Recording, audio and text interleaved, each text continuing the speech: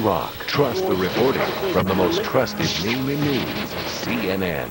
CNN tomorrow, Private Jessica Lynch's journey home. Plus, we're live in Baghdad as troops struggle to restore order on American Morning with Paula Zahn. CNN tomorrow, 8 Eastern. Frank took the day off from work to plant some bushes around the house. Every time Frank touches something, he breaks it. Frank called us because when he stuck his shovel into the ground, he cut the cable wire. Frank! I had no picture on my TV, and I wanted to watch the game that night. Frank needs his sports. We sent a technician out that afternoon. They did it. The guy came out and fixed it, but my team still lost. Sorry about your team, Frank, but we were happy to help. At Comcast, we're just people serving people. Upgrading to a new HD TV? Connect with Comcast Digital Cable. Comcast makes it easy to enjoy some of the best high-def premium and local broadcast programs available with up to 1080i resolution and sound formats including Dolby 5.1. And once Comcast installs HD TV equipment, there's no equipment to buy or replace. So when you're ready for the wider format and perfect picture of HD TV, Comcast is ready for you. HD TV with Comcast Digital Cable. CNN, the most trusted name in news. Is Baghdad returning to normal? Coalition forces trying to restore order to a city of 5 million shaken by war and lawlessness.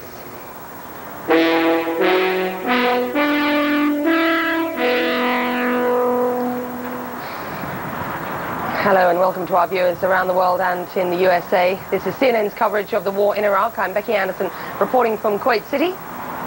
I'm Hala Gorani in London. We'll have political analysis on the events in Iraq. Becky? Thanks, Hala. The latest developments in the wake of the lawlessness gripping much of Iraq. White House officials say coalition forces are rushing in military units trained to provide more security to the country. On Saturday, U.S. Army airborne brigades began a second day of patrols in Baghdad. They're the first light infantry troops in the Iraqi capital. The U.S. Defense Secretary says where U.S. forces see looting, they are stopping it. And Donald Rumsfeld is criticizing some media reports as overplaying the lawlessness that has followed the collapse of Saddam Hussein's regime. It's untidy, and freedom's untidy, and free people are free to make mistakes and commit crimes and do bad things. They're also free to, to, to live their lives and, and do wonderful things, and that's what's going to happen here. Well, CNN's Art Harris says U.S. intelligence reports are warning of possible terrorist attacks designed to disrupt plans by Iraqi leaders to turn the central city of Kut over to U.S. forces on Saturday. The warning concerns so-called foreign paramilitaries reportedly gathering in Kut. Harris reports intelligence sources say Jordanians, Sudanese, Syrians, Egyptians and Chechens have come to Iraq, possibly to help the Iraqi resistance by launching suicide attacks against U.S. troops. Well, Washington says it will convene a meeting of Iraqis in Nasiriyah on Tuesday to discuss the future of the country. A Kurdish leader says Kurds want to retain their semi-autonomy in northern Iraq whilst helping to promote democracy nationwide. Jalal Talabani tells CNN that Kurds who fought side by side with coalition forces want to be part of a democratic Iraq. Well, U.S. military vehicles are rolling into the northern city of Mosul for a second day. Coalition forces are enforcing a dusk to dawn curfew to discourage looting and lawlessness. In the south, British forces report they'll try to begin patrols with local police within 48 hours. Well, for more on what's happening in Baghdad, we're joined now by Michael Holmes, who's live in the Iraqi capital. Michael. Hi to you, Becky, once again. Yes, that's right. Dawn, uh, dusk to dawn curfews here in Baghdad, too. Uh, what we've been hearing today, we've been hearing isolated gunshots around the city. Uh, we understand some of that is trying to ward off some of those looters, although US uh, forces aren't operating in a police capacity here at the moment. They hope to be getting a, an Iraqi police uh, force of sorts up and running, hopefully in a few days, to try to take over some of that role and stop some of the looting that's been going on. Also today, been hearing uh, several, probably a dozen, uh, what we understand are controlled explosions around the city of Baghdad, uh, destruction of uh, munitions and things like that, and also still smoke on the horizon right around the city as fires continue to burn in several uh, buildings, uh, government buildings mainly. Uh, also, this going back to the looting, it has been a major problem, not just in Basra, Mosul, Kirkuk. It's been a huge problem here in Baghdad. Christiane Amanpour was out on the streets to look into the issue.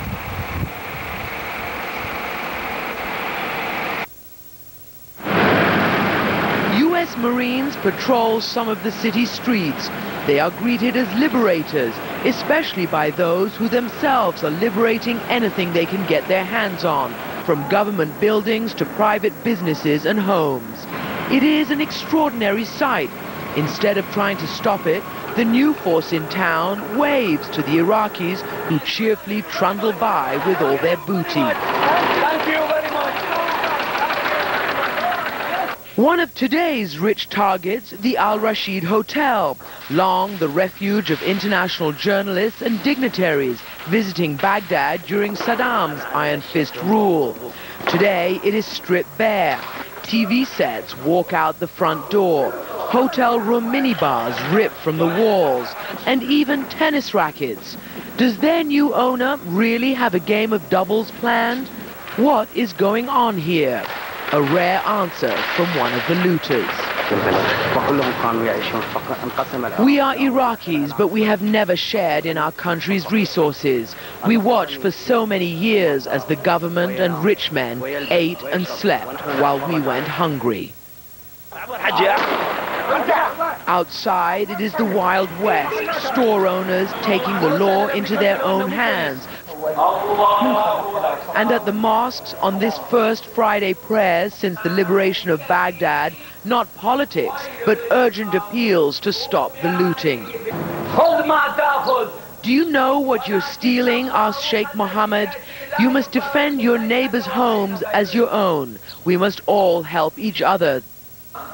Women rock with tears and fear about first the bomb damage and now the threat to their lives and meager livelihoods. The woes of a city welder. I have many tools in the shop. I'm afraid maybe today, maybe tomorrow, the thieves broken the door and stole all, all my tools. Another blames Saddam Hussein for unleashing this orgy. He steal the money of Iraqi people, the resources of Iraqi people. He's a killer. He's a dictator. The dictator may be gone, but at another mosque across town, Mohammed al-Bakr, the imam there, has this warning for the new powers that be. Under cover of removing Saddam Hussein and weapons of mass destruction, he says, the American and British have come to our country with what objective? To liberate us? What liberation is this? What kind of freedom have they brought us? They may have been freed from the tyranny of Saddam Hussein, but the people say that unless order is restored quickly, they are not yet enjoying freedom from fear itself. Christiane Amanpour, CNN, Baghdad.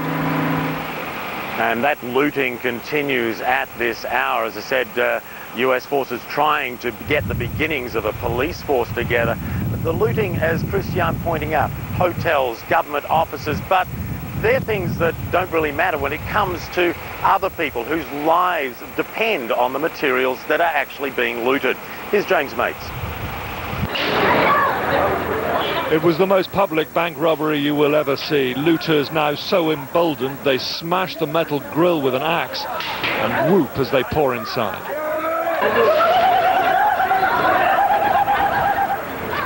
Once in, they swarm over the counters, one group heading straight for the safe, which they swiftly manhandle outside. But even if banks are considered fair game, hospitals surely are not. This is the Olympia Hospital in downtown Baghdad, stripped completely bare by looters. They were still there when we arrived, shamelessly grabbing a few final items. Two young boys even removing the light bulbs. An air conditioning unit was proving stubborn, but it would soon be gone. Many ordinary Iraqis are getting extremely angry about sites like this, as are the Red Cross, who are demanding that the Americans now act. We consider that it is the duty of the occupying power to do so, and we hope that they will be in a position to actually uh, protect uh, activity and uh, medical activity and access uh, to uh, medical facilities.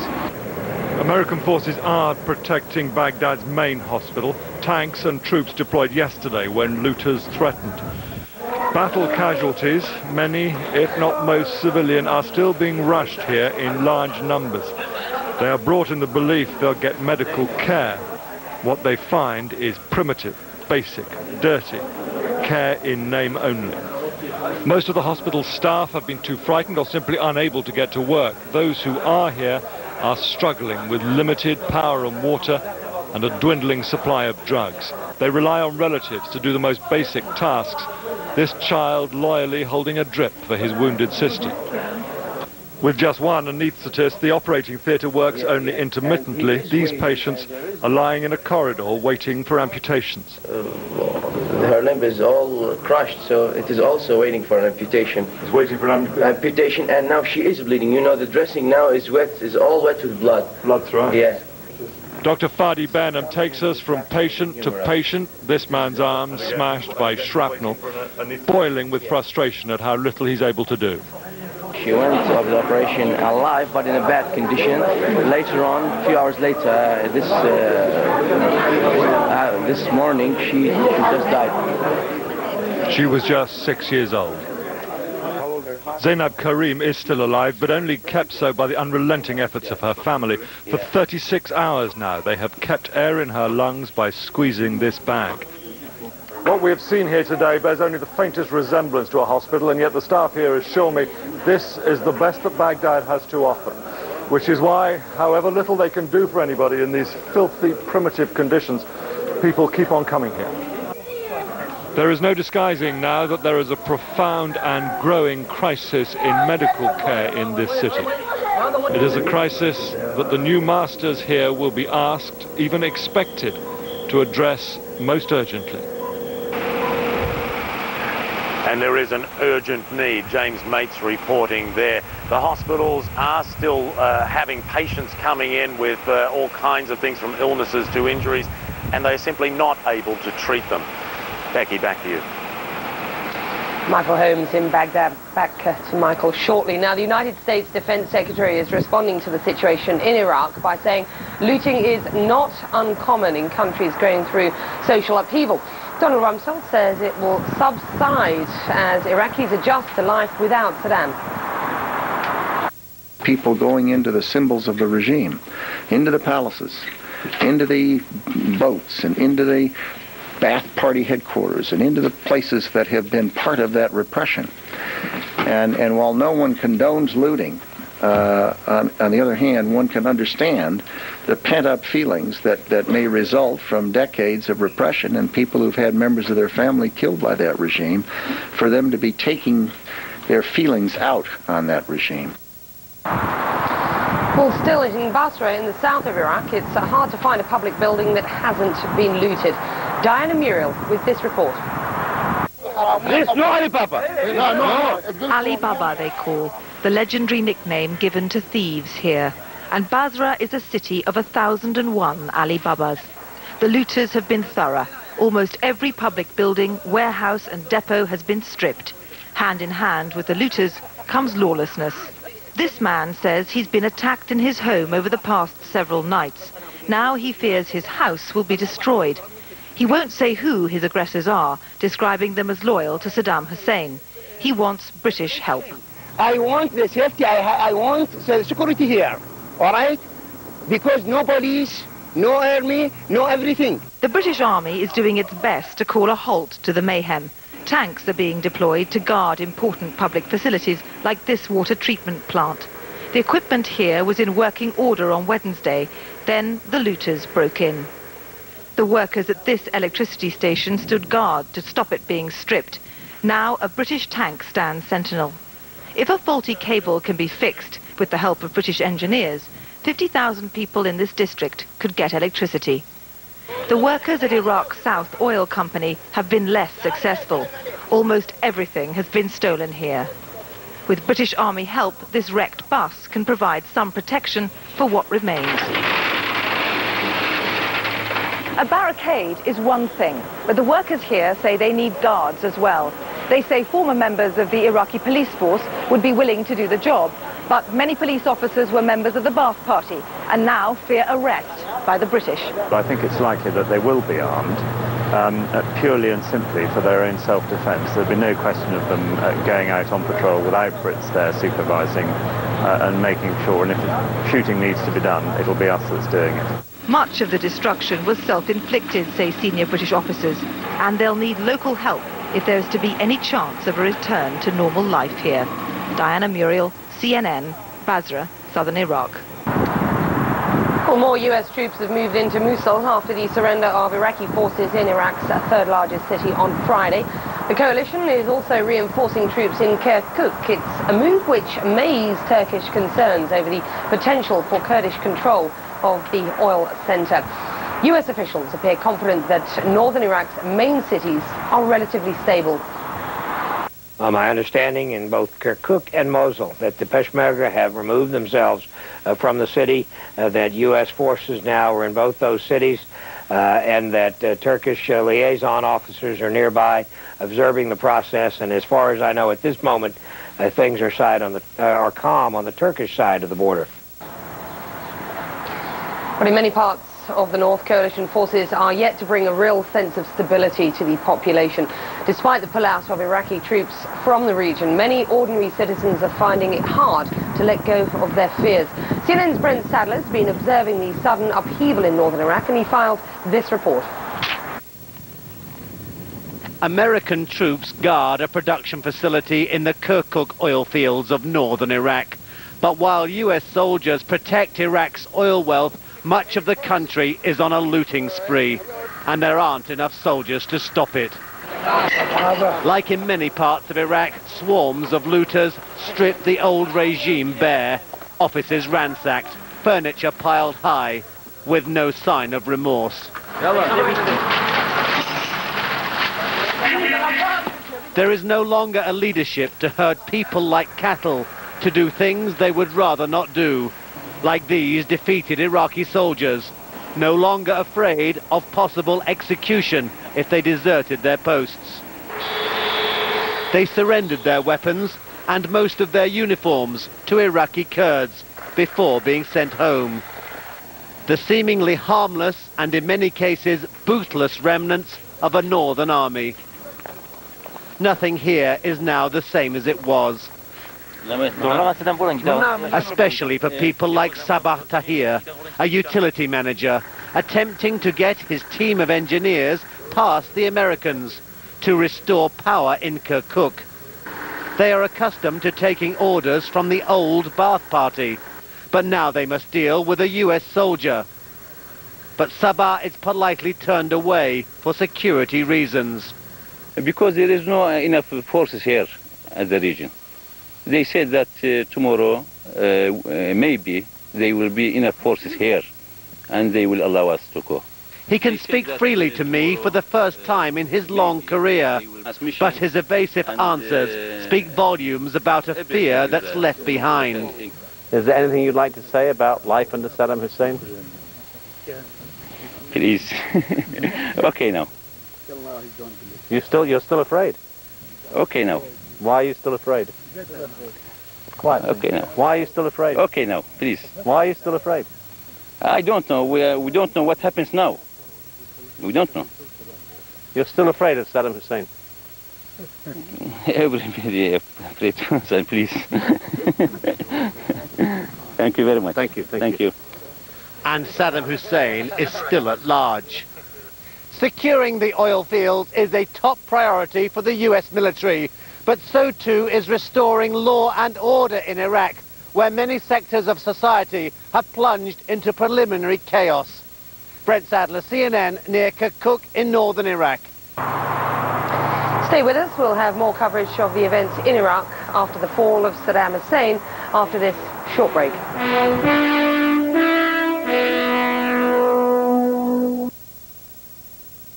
There must be 50 ways the AeroBed saves the day. Like reason 19, you've got the guest room, but no guest bed. Number three, your guest bed invites your guest to go away. Relax. Just plug in the AeroBed, push the button, and you have a comfortable, adjustable extra bed in less than one minute. The new pump is recessed and is 30% more powerful, with quadra-coil construction for a smoother surface. It's even adjustable with our exclusive one-touch comfort control. And it can hold up to 650 pounds. Plus, it stores away in seconds. And now you can get the new and improved AeroBed at the same low price. Call now to get the AeroBed for just three easy payments of only $33. Plus, get this free carry bag and get our 30-night money-back guarantee. Buy now. That's just three payments of $33 or visit a fine retail store near you. How many ways will you use your AeroBed?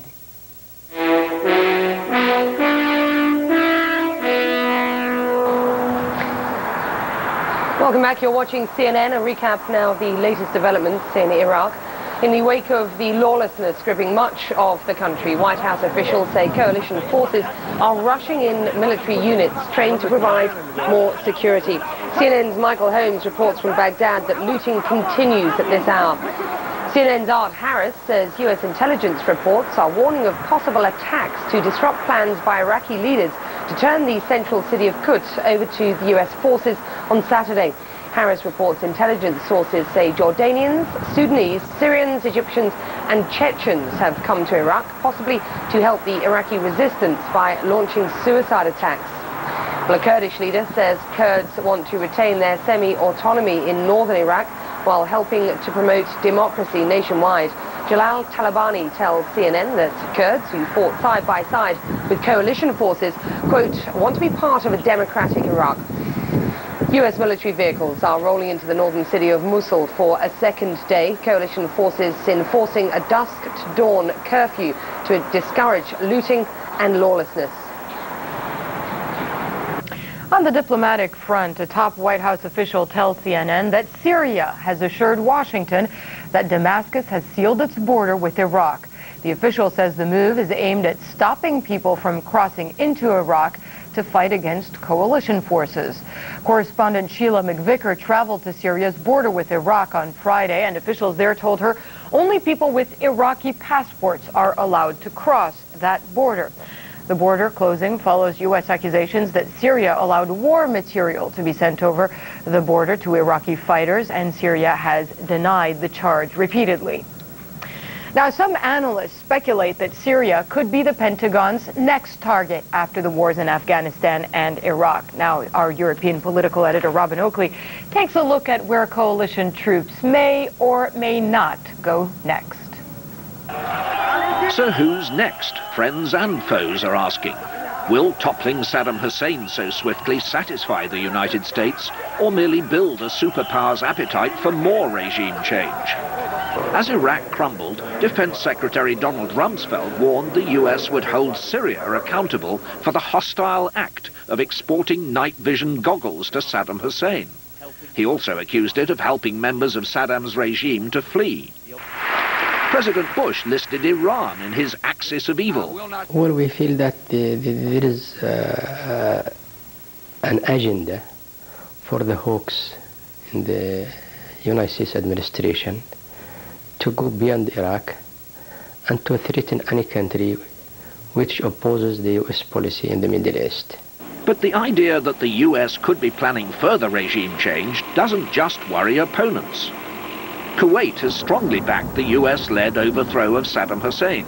But its foreign minister made plain to CNN it wanted no part of any action against Syria. No, Syria was part of the international coalition that liberated my country 13 years ago, and they have played an instrumental part in, in passing also Resolution 1441, which is which we think is the basis for the current action.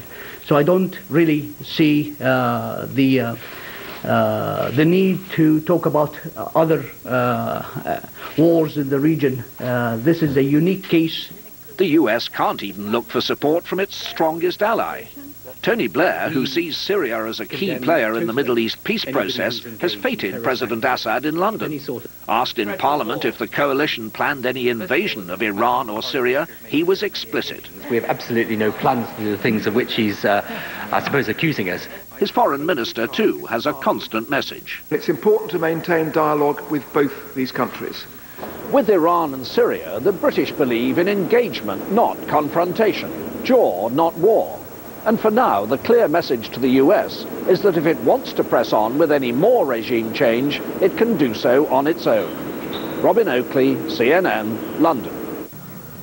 Leaders of Russia, France, and Germany are in St. Petersburg for talks on Iraq. They're calling for the United Nations to play a key role in rebuilding Iraq after the war. French President Jacques Chirac says the world is rejoicing at the defeat of Saddam Hussein, but he says the way forward will be difficult. After the phase of making it secure, we will have to engage in the reconstruction, the political, administrative, institutional, social, and economic reconstruction of Iraq. It's an immense task, immense. The UN and the EU is going to have to play a central role, but only the UN shall have the necessary legitimacy and the long experience to deal with this crisis. Only the UN can bring to the Iraqi people the guarantee of sovereignty and integrity and that its identity will be reestablished and acknowledged. Only the UN can give the chance of reconstruction of regional stability and of peace. Those three leaders met in St. Petersburg Friday. Now, the U.S. plans to hold a conference of Iraqi opposition leaders next week. The meeting will take place in the southern Iraqi city of Nasiriyah. On the agenda, an interim Iraqi authority that would replace Saddam Hussein. It will take place in Nasiriyah next Tuesday, the 15th. It's a meeting to bring together liberated Iraqis from newly freed areas of Iraq, members of the Iraqi opposition, including representatives from the Future of Iraq project that we've been uh, working on. Uh, these are representatives from these various groups and organizations. Uh, Special Presidential Envoy Khalilzad will lead the U.S. delegation to the conference. Ambassador Khalilzad and Deputy Assistant Secretary for Near Eastern Affairs Ryan Crocker will travel to Nasiriyah this weekend. The meeting is expected to be the first in a series that the U.S. says will allow Iraqis to discuss their vision of their own country's future. So as the world prepares for a new Iraq post-Saddam Hussein, Jeanne Moos takes a look at one of the more memorable figures of the old regime. Liar, liar, his regime is on fire. We besieged them and we killed most of them. After telling Whopper? They are trapped everywhere in the country. After Whopper. And I think we will finish them soon. It's Iraq's information minister who's finished, but his place in pop culture grows. The funniest comedian since Buddy Hackett. He has been the butt of countless cartoons, even Arabic cartoons. He's made David Letterman's top 10 list. The number one thing Iraqi's information minister has to say about the war, war? What war? There you go. On The Tonight Show, he's been parodied as a contestant playing International Jeopardy. The answer is, can you hear me now? Mohammed. Yes, yes. Uh, what is Saddam saying to the people who are digging him out from the rubble? That, yes. He even has a website devoted to him. We love the Iraqi Information Minister.com. And uh, do you? Yeah, in a weird, warped kind of way. They refer to him as MSS, Mohammed Saeed al-Sahaf. The six creators of the website describe themselves as bloodthirsty hawks and ineffectual doves, smitten by the minister's twisted quotes. My feelings, as, as usual. We will slaughter them all. That classic ended up on one of several shirts for sale. They've sold hundreds of these, though the whole website started as a joke. Another site based in Britain sells a similar t-shirt, different quote. Sahaf was no laughing matter to Iraqis. He was the public face of a brutal, repressive regime. Now the minister's history is being spoofed. He's depicted giving misinformation at the battles of Gettysburg, Waterloo, the Alamo, Little Bighorn, and even Normandy. Americans? What Americans? There are no American infidels in France. The words of the butcher of Baghdad's mouthpiece now adorn a barbecue apron. God will roast their stomachs in hell. This is one spokesman who never learned not to talk with his mouth full of falsehoods. Jeanne Moos, CNN, New York. Coming up after the break, Iraq the Bottom Line, CNN's special program on the reconstruction of the country as war is still raging on in some small pockets of the nation. Stay with us. You're watching CNN. CNN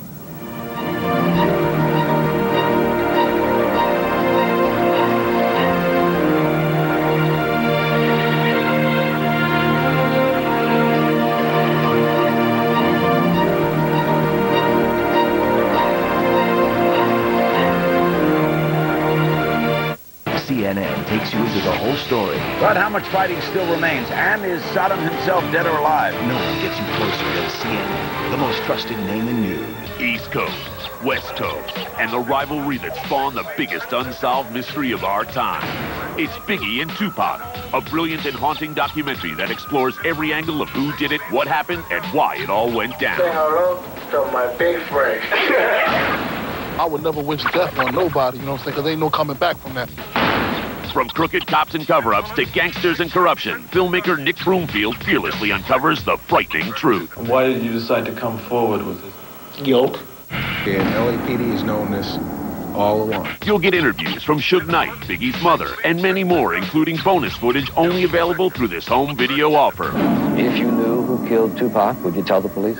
Absolutely not. Plus, you'll get a Biggie and Tupac poster free with your paid order. Get Biggie and Tupac now, because everyone deserves to know. Why?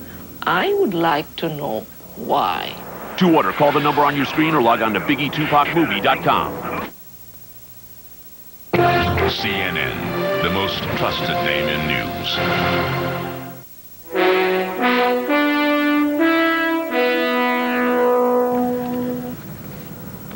Watching CNN. Here are the latest developments in Iraq. The White House says coalition commanders are rushing troops with security training to Baghdad. Since the fall of Saddam's regime, looters have taken advantage of the lack of law and order to ransack government buildings, hospitals, and schools, as well as private businesses in some cases. Anarchy in the northern Iraqi city of Mosul has prompted a dusk-to-dawn curfew enforced by coalition troops. More U.S. troops entered the city Saturday. On Friday, some frustrated residents yelled at arriving U.S. forces, why are you late? Iraqi forces there had surrendered without a fight earlier in the day. A British cabinet member plans to visit Syria and Iran to address concerns about post-war Iraq in the next few days. London says Mike O'Brien, a senior representative of Prime Minister Tony Blair of the UK, will assure those countries their concerns will be considered in regards to the future planning of Iraq. All right, of course, we'll have all the latest developments on the war on Iraq at the top of the hour. Coming up next, though, Iraq, the bottom line, CNN's special program on the reconstruction of the country.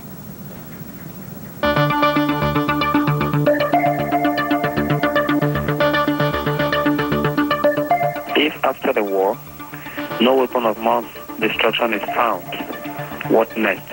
Where do we look out for it? I think the USA is doing a good job. They have a lot at stake in this war they're fighting with Iraq, and I think it's a very good effort they're making. I want them to just know that they are the superpower. Views expressed do not necessarily reflect those of CNN. Some calls have been condensed for the sake of clarity and time constraints.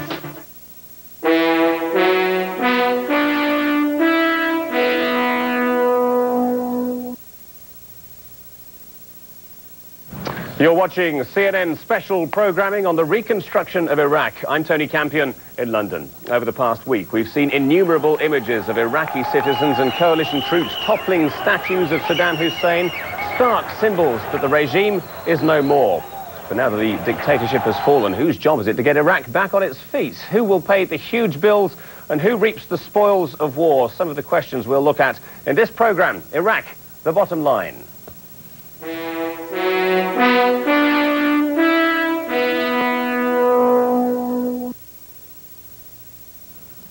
Now that the third war in Iraq in 23 years is nearing a close, a new chapter is about to begin, the restoration of the country to its former glory. But here's what the rebuilders are facing. In 2002, Iraq's gross domestic product was only $26 billion. That's nearly 75% smaller than in 1979, before the onset of war with Iran. Iraq also has staggering debt. It currently owes somewhere between 100 to 125 billion dollars to its creditors. And the nation's labour market is nothing short of a disaster. An estimated half of its people were jobless prior to the current conflict. And as for Iraq's greatest natural resource, its oil, that industry is only operating at a quarter of its potential capacity. Well, initially, the job of rebuilding Iraq will nominally be taken up by the coalition. In practice, the United States, with Iraq's economy in such a shambles and worsening with each day of war, how costly will the process be? Liz George looks at the potential financial burden. Rebuilding a battered Iraq will be an enormous task. That's the one thing everyone agrees on. Trying to put a price tag on it is something no one agrees on. And of course, it all depends upon how fast Iraq manages to get back on its feet. It does, after all, have the second largest oil reserves in the world and a fertile agricultural economy. We're talking about an economy that could be reflated relatively quickly on the right political circumstances, of course, um, from something like $30 billion back to its former heyday itself, uh, $100 billion. That does require new investment. Um, this is investment mainly in the oil sector, but it would also require uh, a certain amount of uh, humanitarian assistance, um, repair of the social infrastructure, that is the schools, hospitals and such like. Those brave enough to put a figure on it predict a bill of anything from $84 billion to nearly 500 billion. One economist from America's Yale University predicted it could cost up to 1.6 trillion over 10 years. Aid to friends and allies in the region, Turkey, Jordan, Israel, 6 to 10 billion dollars. Humanitarian assistance, food and medical supplies, 1 to 10 billion dollars. Governance assistance, that's paying Iraqi civil service and police salaries, 5 to 10 billion. Reconstruction and recovery, 10 to 105 billion dollars. That's depending upon the amount of destruction and the detail of rebuild and debt relief, 62 to 361 billion dollars. We need help and we need support from the outside world uh, in order that we can turn a new page and uh, start on civic and democratic process. Otherwise, the implications are, you know, if there are no real changes, as we've seen in other societies, there, there's going to be some turmoil. If you want to make comparisons, the rebuild cost for Afghanistan has so far cost the US taxpayer more than $900 million. And after World War II, the Marshall Plan for rebuilding Europe something that became the economic model for redevelopment, cost the US taxpayer more than $13 billion over four years. And that was back in 1948. Liz George, CNN, London. Well, apart from coalition members, there are several other entities that say they're prepared to help Iraq rebuild. One of them is the World Bank, and I asked its president, James Wolfensohn, what, in practical terms, the institution meant by saying it stood ready to help with reconstruction. And we have the team uh, that could assist in the reconstruction uh, in Iraq, but we need to be asked and we need an authorizing environment. And uh, so the answer is, as an international body, we would like to help, uh, but it is for our shareholders, the main countries, uh, to decide whether we're the people that they want to ask and uh, to give us approval to do so. What sort of conditions would you be likely to put on any lending that the World Bank might offer to help Iraq reconstruct and redevelop at this point? Well, the first thing is, uh, the first condition is that there be a government in place that is recognized so that if we lend to it, uh, there is a legal recognition of our, of our loan. Uh, but the second and perhaps the prior reason uh, that we would uh, need uh, to make conditions is, is, is in terms of going in and assessing the damage and in terms of working out a plan with the authorities we first of all need someone to deal with, and secondly, uh, we need approval by our board uh, that we can go in and provide that assistance. You'll, you'll know also that uh, there is a sanctions resolution 661 at the United Nations, which makes it difficult to deal with Iraq, and so uh, we would need approval uh, within the context of that by our board. Do you have any idea at all of the sort of sums of money that might be involved? Well, frankly, no. Uh, we knew the situation reasonably well in Iraq uh, prior to the war, but I don't think anybody could tell you what is uh, needed until we do an assessment of the damage that is caused by the war, and that is something that could be done, I think, uh, reasonably quickly, but at this stage we don't have any idea. Well, you, you, talk about the situation before the war. Iraq obviously already has debts to Kuwait, to Saudi Arabia, to other parties as well, totaling something I think like 10 times GDP. I mean, over what sort of time scale should Iraq be looking to use its oil revenues to pay down that debt? Well, I think that's a deal that they'll have to do with their bilateral creditors. Uh, to the bank itself, they owe us $82 million, which is a sum that I think they could pay rather easily or could be paid by some friendly nations. Uh, what we need is to get into a position where we can lend to them. Uh, the extent of their bilateral debt is something they'll have to negotiate uh, with those uh, bilateral creditors. James Wolfensohn, the president of the World Bank. Well, as we've been hearing, longer term, the driving force of the rebuilding process will be revenue derived from Iraq's oil industry. Iraq owns 11% of the world's proven oil reserves, second only to Saudi Arabia. But much of Iraq's oil remains untapped, and it therefore accounted for only 3% of global output in 2001. By some estimates, though, production could triple once Iraq's oil industry is efficiently managed after the war. So how much money will Iraq have to spend on infrastructure if or when things begin running smoothly? Well, to help us answer that question, Peter Gignoux is here. He's Managing Director of the Petroleum Desk at Citigroup. Peter, let me give us a context for us. 3% of global output, Iraq's 2001 capability. What, what is that in roughly a dollar figure? We're looking at it somewhere in the, the tune of $30 billion for um, overt revenues. Uh, again, Saddam had institutionalized smuggling one way and another. Throw in another 6 billion for that. So we're looking at, uh, you know, something like $36 billion total revenue. I mean, what, what kind of margins does a, a mature oil industry run at if they could get the uh, equipment working as it should and the companies working as they should? How much could they make in profit on those kind of figures? Well, it, if you draw a parallel between the, uh, the Saudi fields and the Iraqi fields, um, you may have very, very profitable oil, a new, very profitable oil company in Iraq. Uh, it's not deep water offshore. Uh, you're going to put in new equipment. And the cost of production may only be a couple, three dollars a barrel. So we're looking potentially then on, on, on say, $30 billion of profit that could reach 26, 27 billion. Oh, absolutely. So then we have to add to that the fact that uh, not only uh, is production running at a low level, but also, you know, they could uh, vastly increase the global output from that 3% of global production to something like 8, 9, maybe even 10. Yeah, the, the first stage is to bring Iraq back to, say, pre-1999 levels. That's taking a production back up to 3.4, 3.5 million a day. Remember, just before Iraq invaded Kuwait, the Iraqi OPEC quota and the Iranian one was at uh, 3.1 million barrels a day. So we're looking at potential profits. I mean, if we jump forward, how long, you'll tell me, before we could be looking at profits of something like sort of $70 billion, which compare favorably with the sorts of sums that are needed to rebuild this country. Well, that's true. We need to get some capital into the Iraqi oil industry. We need to get oil income translated back for the, the Iraqi people. And as you know, Iraq exports from the south, exports from the north. The northern terminal in, in Turkey is now full of oil, but it's actually not being sold. So roughly speaking, I mean, how long would you expect it to take to get the Iraqi oil infrastructure back up and running as it should? The guesstimate at the moment for the southern fields is to have them exporting in three months. That's pretty good. Maybe not up to full capacity, but getting generating dollars back into Iraq.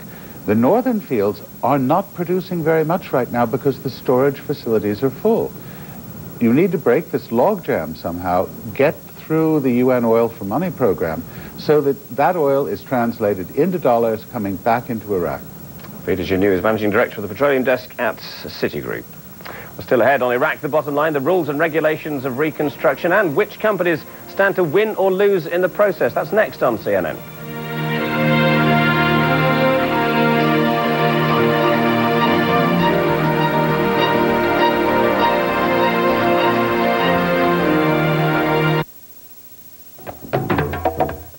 I'm saving $160 a night at this four-star hotel. A three-star for $59 a night. We're saving $100 a night in New York City. But we even got the kids in their own room. Priceline now has the guaranteed best prices at top-of-the-line hotels. Save up to 40% off other leading online sites. I paid $55 less than at Hotels.com. 60 bucks less than Expedia. I tell them the price. The exact neighborhood and even how many stars. And they found it. Now we'll stay at a hotel instead of the in-laws. Top of the line, guaranteed best price. Priceline Hotels. CNN's Terror on Tape, reported by Nick Robertson, wins this year's Peabody Award for excellence in journalism. Now Nick covers the war in Iraq. Trust the reporting from the most trusted name in news, CNN. CNN Tonight, Baghdad's fallen. When will the war end? The latest from the front lines of Operation Iraqi Freedom. Only on Larry King Live. CNN Tonight, 9 East. Frank took the day off from work to plant some bushes around the house. Every time Frank touches something, he breaks it. Frank called us because when he stuck his shovel into the ground, he cut the cable wire. Frank! I had no picture on my TV, and I wanted to watch the game that night. Frank needs his sports. We sent a technician out that afternoon. They did it. The guy came out and fixed it, but my team still lost. Sorry about your team, Frank, but we were happy to help. At Comcast, we're just people serving people. The Comcast Network. Recognized this year for broadcast excellence and proud recipient of 32 Telly Awards. Award-winning television. CN8, smart TV for curious people. CN8 is talking politics on the road from the Garden State's most delicious diners, all for an appetizing political perspective that'll leave you hungry for more. Diner Politics, Sunday, 6.30 Eastern on CN8. CNN, the most trusted name in news.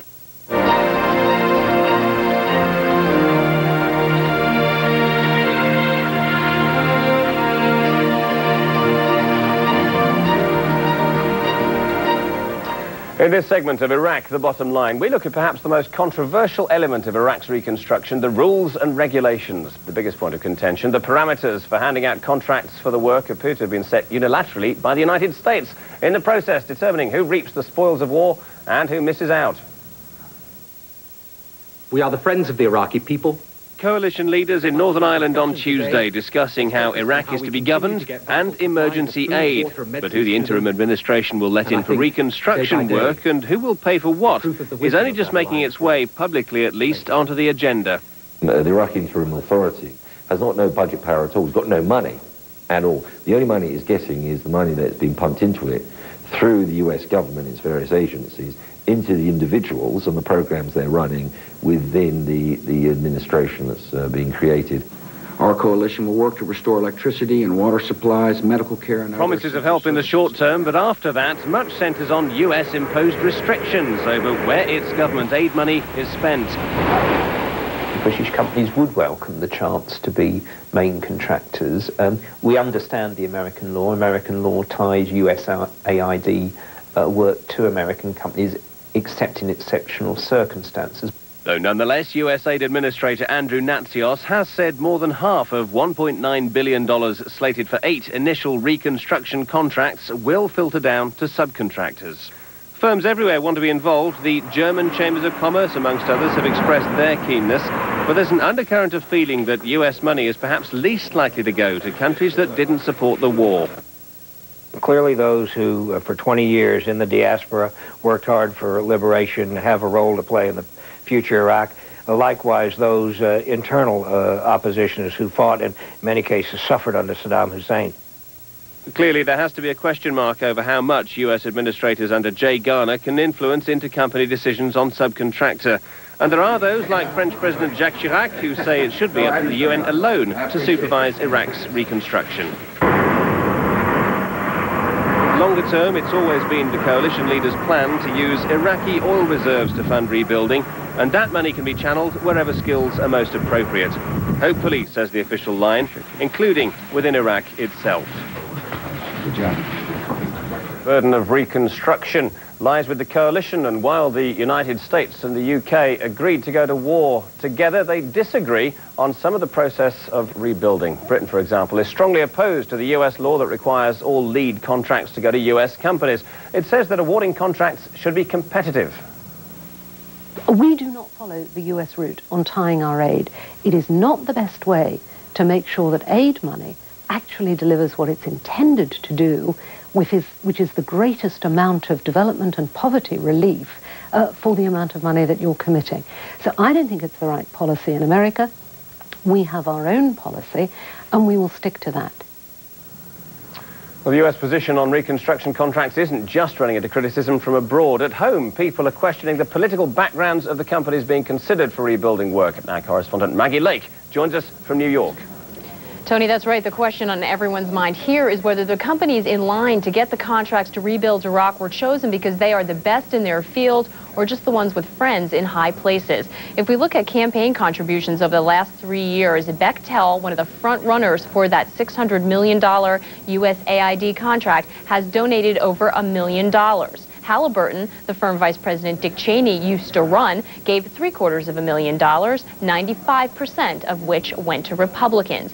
Now, there has been much made of these political contributions. What you don't often hear, though, is that with the exception of Halliburton, Democrats benefited heavily too. Not only that, but the amounts pale in comparison to what other companies in other industries donate in just one year. The U.S. Agency for International Development, which is responsible, as you've mentioned, for awarding the contracts, says there has been a lot of unfair press and insists politics have nothing to do with the awarding of contracts. The procurement staff were told to do it based on the merits and ignore all political pressure. I've told the procurement director that if anybody attempts to influence this, this, prop, this process, that he's to tell me and I will put a stop to it immediately. The president said he wants this done a, on a, a high degree of integrity with no political influence. That's the way we're running it.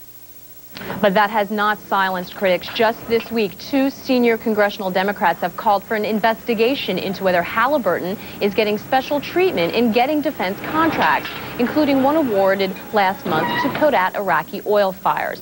Now, government officials defend their choices, saying these companies have the expertise, the equipment, and security clearance to get into Iraq now and make speedy progress in the rebuilding, something that is seen as critical in both averting humanitarian disaster and winning over world opinion. But Tony, really, appearances matter, and there are many voices, both internationally and here in the U.S., that are questioning whether Halliburton and the Bechtels are only really the only companies that can get the job done. Very, very uh, issue that's getting a lot of debate in this country. Tony? Not everyone would say that's the case, uh, Maggie. Some European companies used to have strong ties with Iraq, and they argue their government's anti-war stances shouldn't compromise what happens in the future. Charles Hodson reports. A moral stance or vested interest? French President Jacques Chirac may have won his nation's admiration for opposing war with Iraq, but how long will that last once future trading relationships are carved out? Along with Russia and Germany, France has had strong trading ties with Iraq, a trading history which will be put to the test when a new Iraq emerges.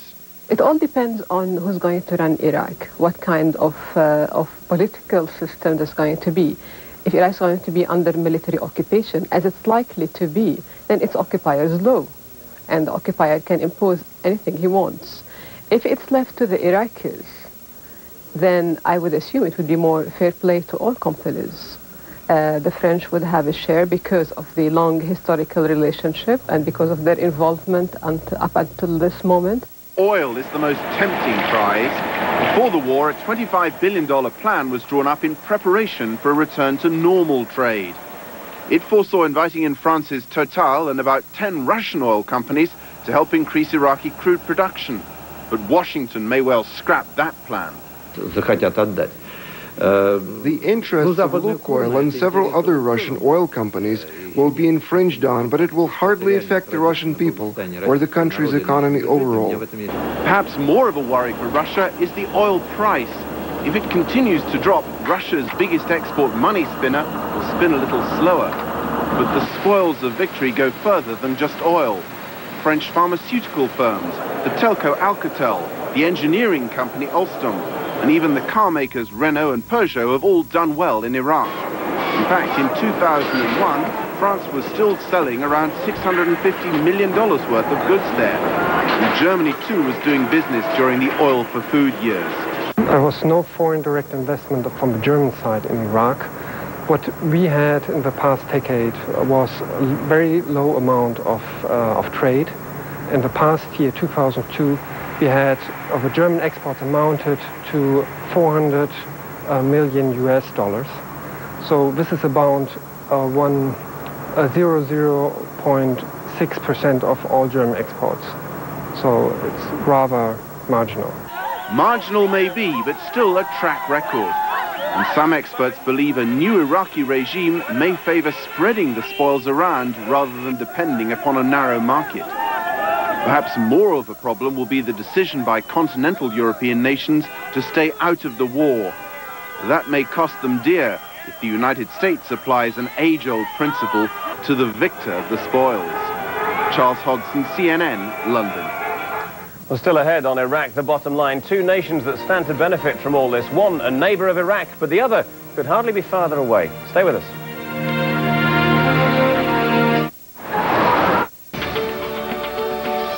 The power of trust. America's most credible news source, year after year.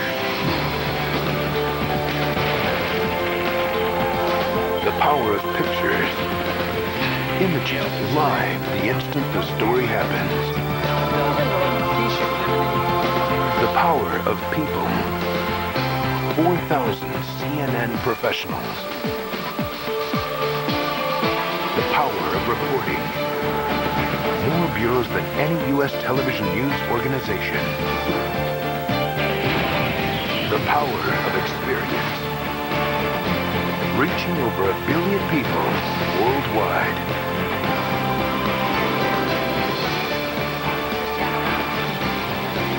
The power of CNN. The most trusted name in news. Because things are changing so fast, trust CNN. With more frontline reporters, experts who have been there, and the most experienced journalists. Because you need all the facts. Stay with CNN, the most trusted name in news.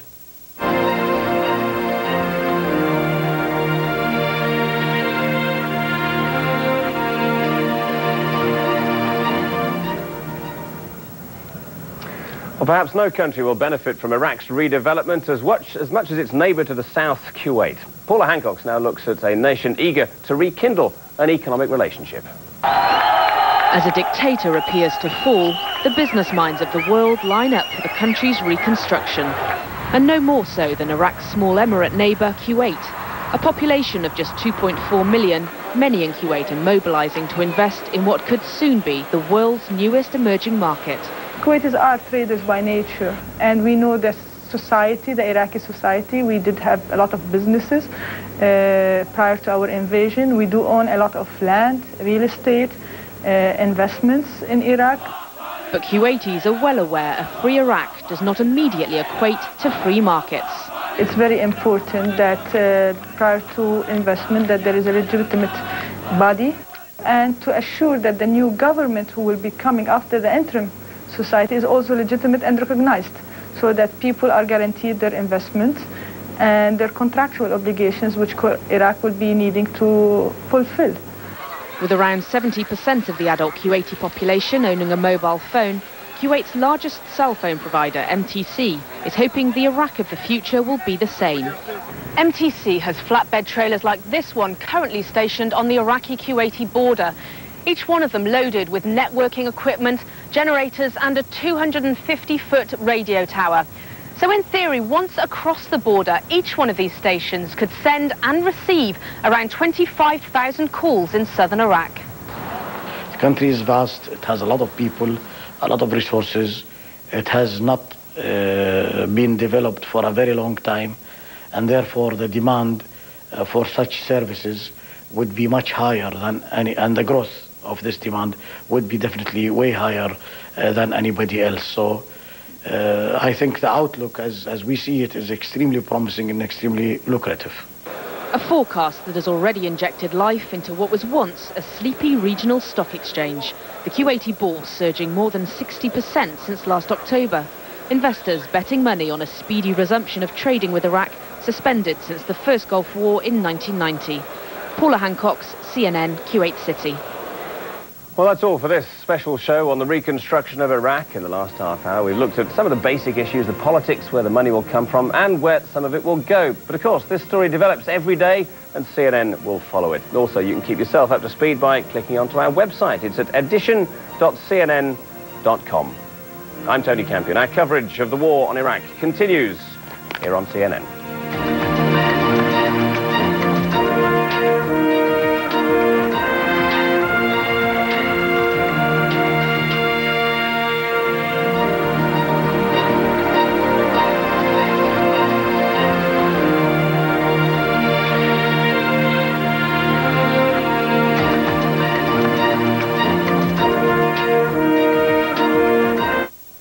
Were born between 1918 and 1963, call the number on your screen now to find out more about the Silver Care Plan. The average funeral now costs over $6,000. But did you know your survivors may only be able to receive government death benefits up to $300? if they qualify. The Silver Care Plan is a way to help protect your loved ones. To get free information about the plan, just call the number on your screen. CNN tomorrow, the man in charge of U.S. troops in Iraq, Wolf Blitzer sits down with General Tommy Franks, commander of Operation Iraqi Freedom.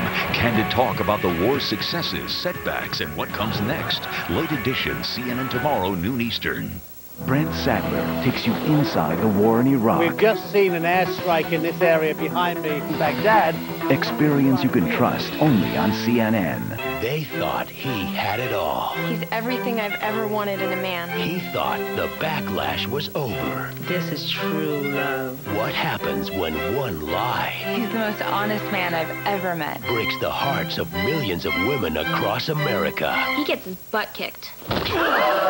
Oh! Order it on in-demand pay-per-view from Comcast. Now that was a twist.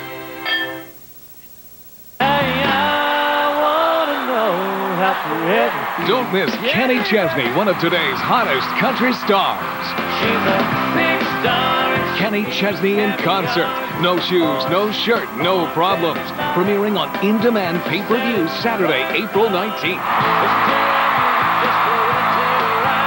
Hey everybody, I'm Kenny Chesney. Catch us live on In Demand. See Kenny Chesney in this special taped concert April 19th on Comcast.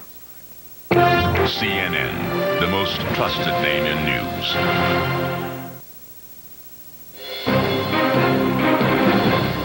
I'm Carol Costello at the CNN Center in Atlanta with this hour's latest developments. It is 5 Eastern Time now. In Baghdad, the sacking of Saddam's regime continues, but U.S. troops are starting to crack down on lawlessness.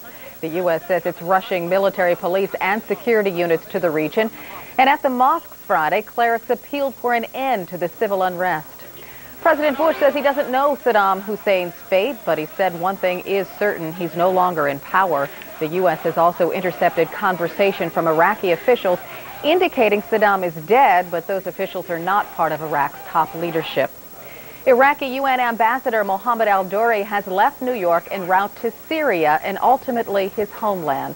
Before departing, al-Douri said he is looking forward to a free government in Iraq, but he said his main concern right now is for his family. Says he hasn't heard from them since the war started. The U.S. government says it's taking steps to secure Sits down with General Tommy Franks, commander of Operation Iraqi Freedom. Candid talk about the war's success, setbacks, and what comes next. Late edition, CNN Today, noon Eastern. CNN tomorrow. Dan Rather live from Baghdad for the hour and taking your calls. Dan Rather in Baghdad on Larry King Live. CNN tomorrow, 9 Eastern. Frank took the day off from work to plant some bushes around the house. Every time Frank touches something, he breaks it.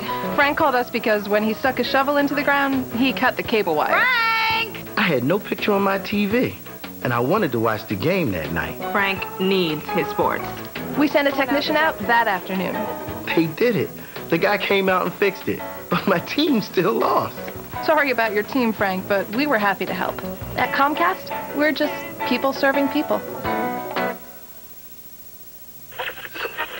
To a new HD TV? Connect with Comcast Digital Cable. Comcast makes it easy to enjoy some of the best high-def premium and local broadcast programs available with up to 1080i resolution and sound formats including Dolby 5.1. And once Comcast installs HD TV equipment, there's no equipment to buy or replace. So when you're ready for the wider format and perfect picture of HD TV, Comcast is ready for you. HD TV with Comcast Digital Cable. CNN, the most trusted name in news.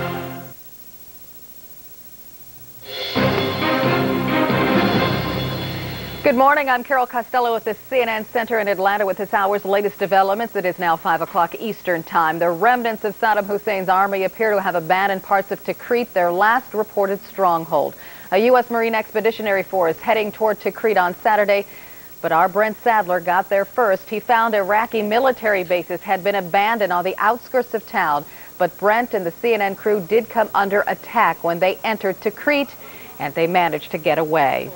Baghdad does remain dangerous as well. A U.S. Marine was shot and killed at a checkpoint on Saturday. CENTCOM says two men attacked the checkpoint, killing the Marine. One of the attackers, a man with Syrian identification, was killed by Marines. The other escaped. Also in Baghdad, Iraq's top scientist has surrendered to coalition forces. Lieutenant General Amir al-Sadi was Iraq's point man in the last UN weapons inspections. At the time, he repeatedly denied Iraq possessed banned weapons, and he insists he was always telling the truth, adding, time will bail me out. The search for banned weapons has taken the coalition to an airfield in Kirkuk, where an abandoned warhead initially tested positive for nerve agents. But a second test came up negative, so chemical weapons experts are being called in for a more definitive answer. She is back in the United States. Army Private Jessica Lynch is resting today at the Walter Reed Army Hospital near Washington. Doctors say the rescued POW is in satisfactory condition with multiple injuries. She arrived Saturday with 49 other wounded military personnel on a medevac flight from Germany.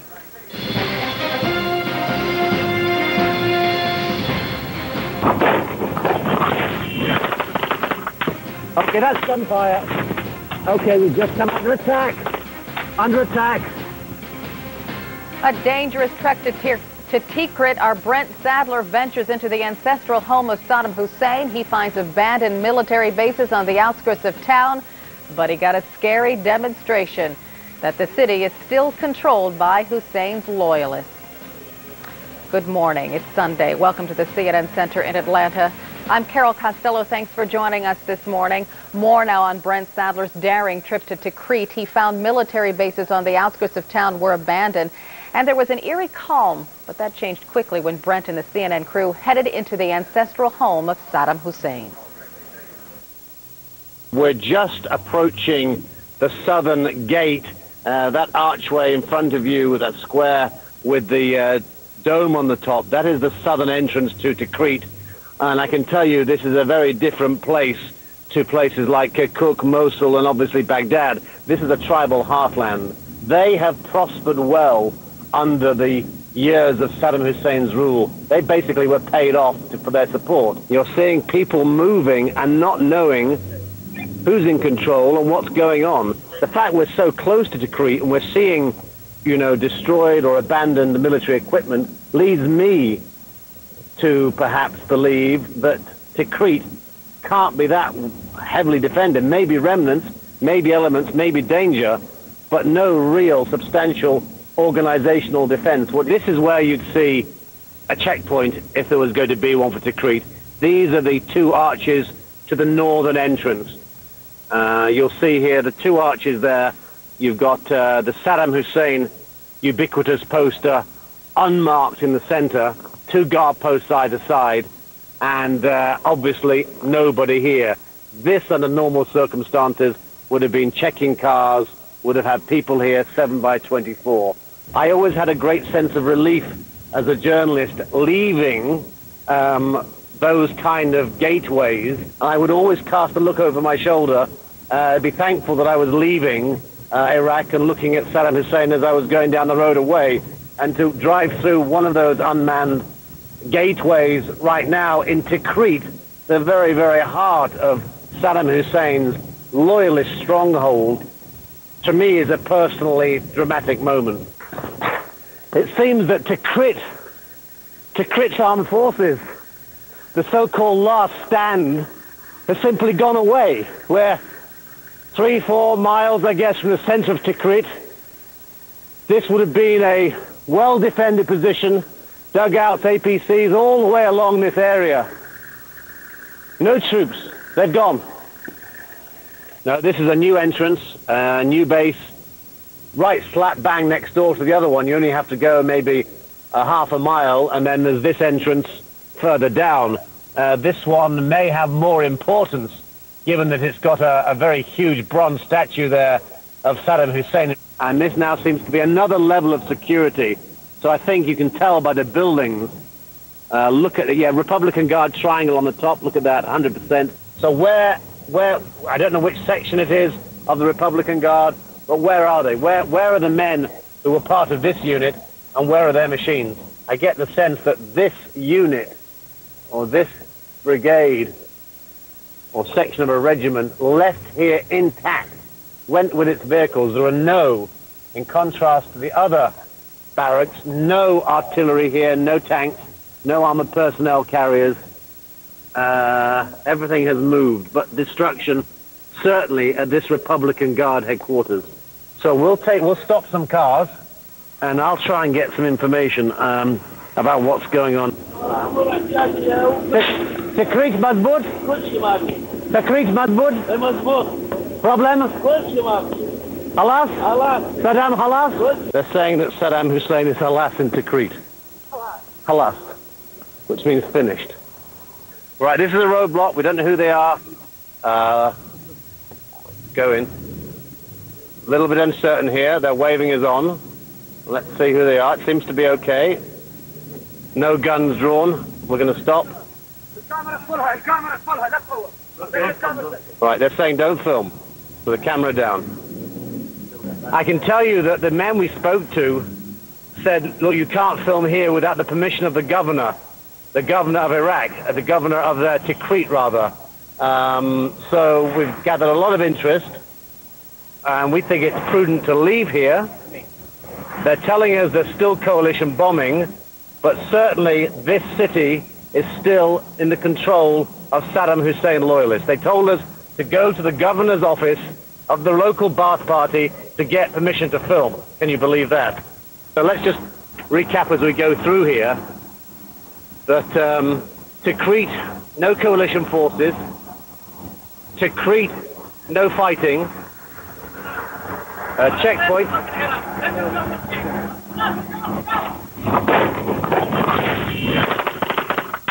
Okay, that's gunfire. Okay, we've just come under attack. Under attack. We're okay, we're okay. Under fire. That confirms our worst fears. If you're with us, okay, we've just run a checkpoint. We have come under uh, automatic machine gun fire. We've blown to the checkpoint. They tried to stop us. And uh, our armed guard pulled his machine gun his automatic machine gun and opened fire to get us through there. I think that's as far as we're going to push it today. Another vehicle coming up behind. What is he doing? What? What? We're still moving along. Under fire again.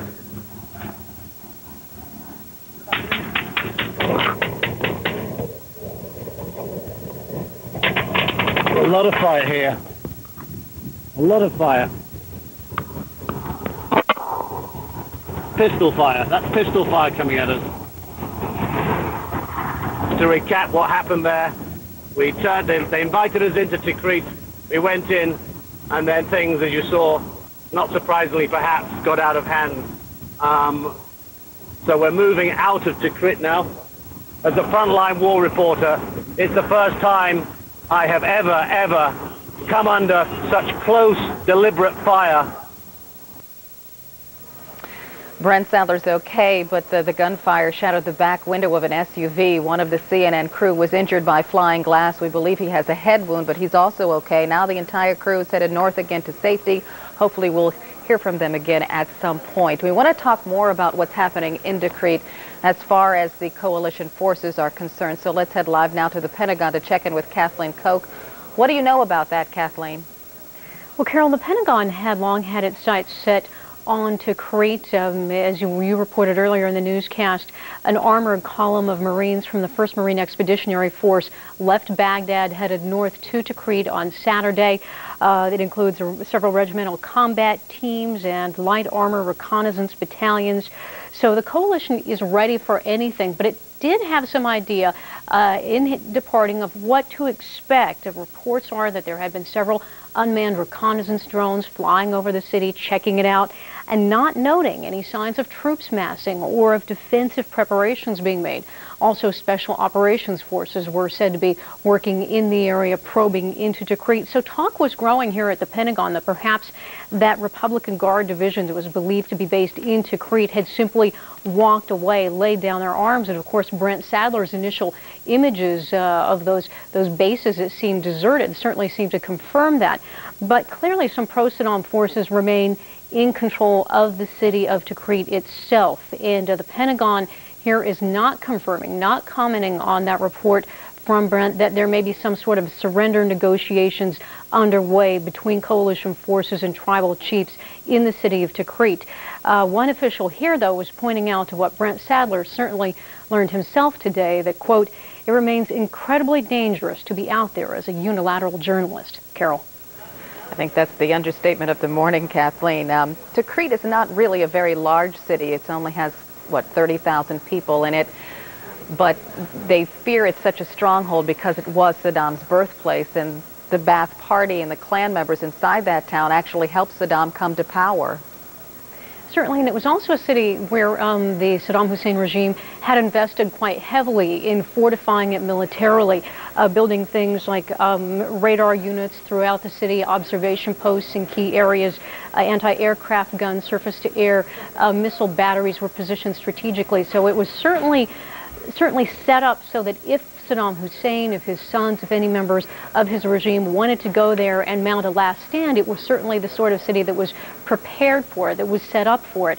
But again, the hope, uh, at least at this point, is that militarily there really won't be that sort of concerted resistance. It's kind of ironic, too. This is the last major city not in coalition hands, yet the military is now sending some warplanes home, some um, aircraft carriers home. What more can you tell us about that? Well, that's something that the Pentagon is beginning to consider as at least this, this is the last remaining city, as you pointed out, that is not under coalition control. And as the aerial bombardments drop uh, day by day, there isn't going to be the need for all this firepower to be centered in the region. But the Pentagon is not going to be hasty, doesn't want to move anything out um, preemptively. So they're taking their time, but they're certainly beginning to look at that, scaling back a little bit. This chemical warhead that they found in Kirkuk, do you have any more information on that so we can update our viewers? Still don't have a final reading on it. The uh, plan right now was for a chemical weapons evaluation team to come in and check out that warhead very carefully because uh, when the teams came upon it in Kirkuk, they performed tests in the field the first test was was po was positive for the presence of some sort of a chemical nerve agent, and then the second test was negative, Carol. So they're still waiting for that team to come in and do a final and definitive test. Understand. We'll get back to you. Kathleen Koch reporting live from the Pentagon this morning. Want to update you now on the casualty count from the war. 114 U.S. service members have been killed. There are six Americans missing in action and seven American POWs. 31 British service members have been killed, and there have been thousands of Iraqi military deaths. No reliable count on the number of civilians killed, and coalition forces hold more than 7,300 Iraqi POWs. Now, to some, the war may seem in its waning days, but to others, it is still a war to be protested.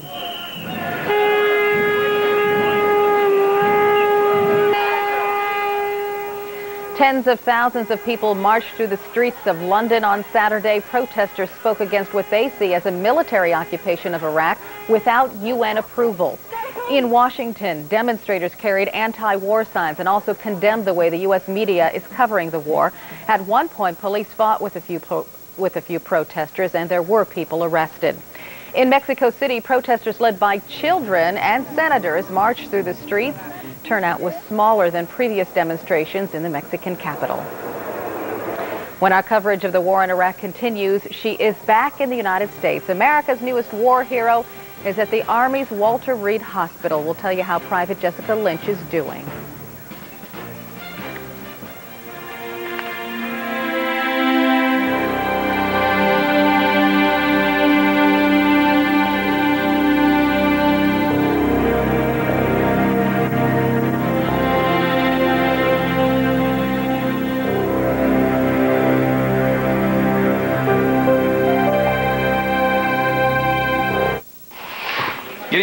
Before your next meeting?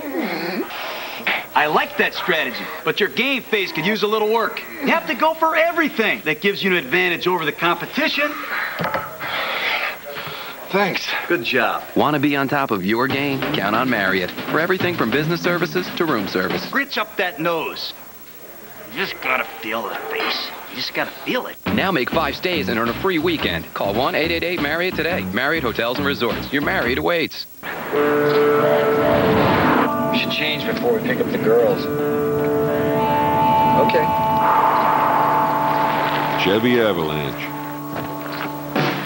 It changes from a pickup to an SUV.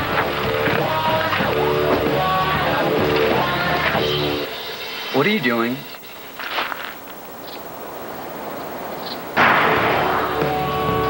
Avalanche like a rock.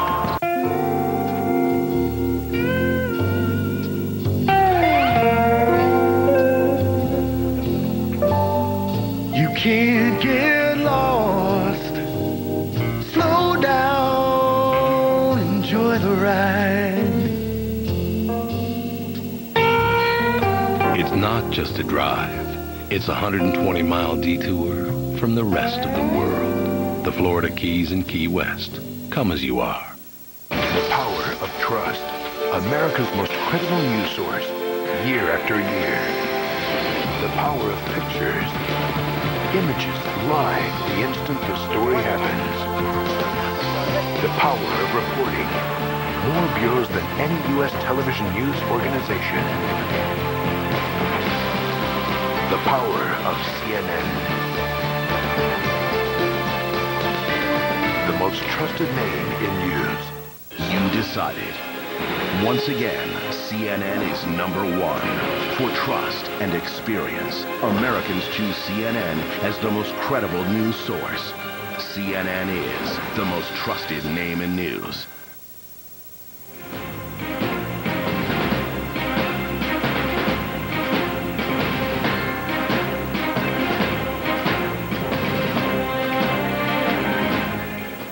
Welcome back. 517 Eastern Time. There was a major development a few hours ago in Kut. Religious and civic leaders there handed over administrative control of the southern city to the U.S. Marines. Art Harris is embedded with the Marines. He joins us now live by phone. Good morning, Art. Just to uh, give people a clear indication of where Kut is, it's about 105 miles southeast of Baghdad. Now tell us what's been happening there. Well, I'm in the back of a light armored vehicle. I'm popped up uh, riding along a major highway uh, just outside Al Kut, and the Marines have taken control of the city after delicate negotiations between the Marines and civic and religious leaders. They turned over control uh, of the city to the Marines, uh, and they're now working out details of government. The Marines have ringed the city, and we are on the way. The unit I'm with, light armored reconnaissance, to check out routes into the city. I just passed a blown-up T-55 Iraqi tank, a blown-up petroleum uh, refueling truck pulling an Iraqi artillery piece, uh, and we are now passing fields outside uh, Al Kut. Traffic is moving uh, freely and peacefully, and people are waving to us, thumbs up. Uh, the military